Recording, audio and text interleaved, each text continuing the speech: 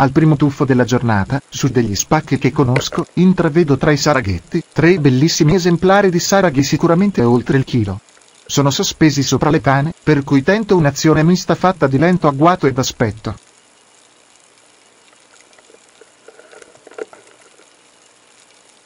Riesco ad incuriosirne uno, che si stacca dal piccolo gruppo.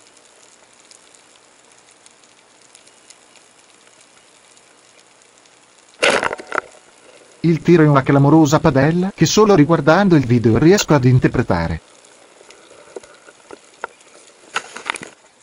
Il Sarago, infatti, scatta una frazione di secondo prima del tiro, a causa dello scodare di un altro esemplare che si intravede sulla destra dell'inquadratura.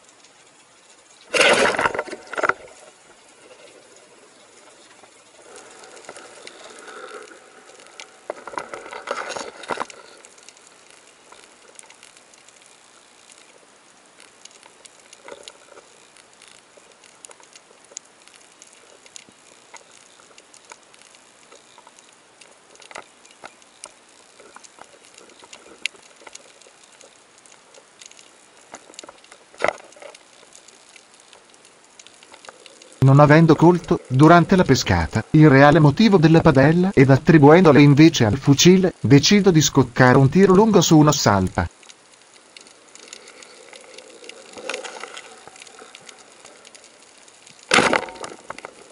La colpa non è del fucile e solo l'analisi del video mi chiarirà la situazione precedente.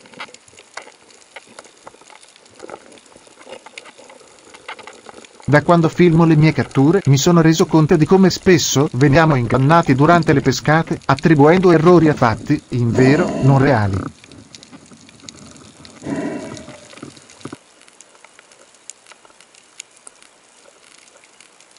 Non sono solito sparare in situazioni come questa, ma quando la pescata si presenta scarsa di occasioni ed un bel polpo si pare davanti, allora faccio uno strappo alla regola in onore di una bella insalata di polpo.